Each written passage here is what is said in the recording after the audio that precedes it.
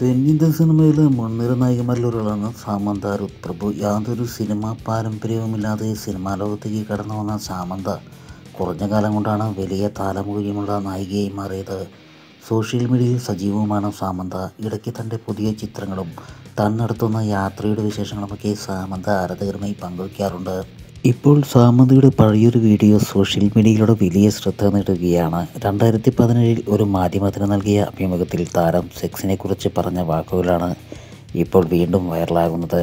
Rapid fire റൗണ്ടിൽ ഭക്ഷണം അല്ലെങ്കിൽ സെക്സ് ഏത് തിരഞ്ഞെടുക്കുമെന്ന ചോദ്യത്തിനായിരുന്നു സാമന്തയുടെ മറുപടി. ഇപ്പോൾ വേണമെങ്കിൽ പട്ടിണി എടുക്കാൻ പറ്റും പക്ഷേ സെക്സ് ഇല്ലാതെ ഒരു ദിവസം പോലും തള്ളി നിൽക്കാൻ പറ്റില്ല എന്നാണ് സാമന്ത ആ വീഡിയോയിൽ പറയുന്നത്.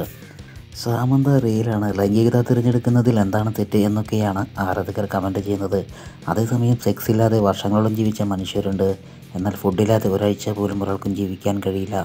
ഭക്ഷണമില്ലാതെ എന്ത് സെക്സ് എന്നുള്ള ചോദ്യങ്ങളും വീഡിയോയ്ക്ക് താഴെ വരുന്നുണ്ട്.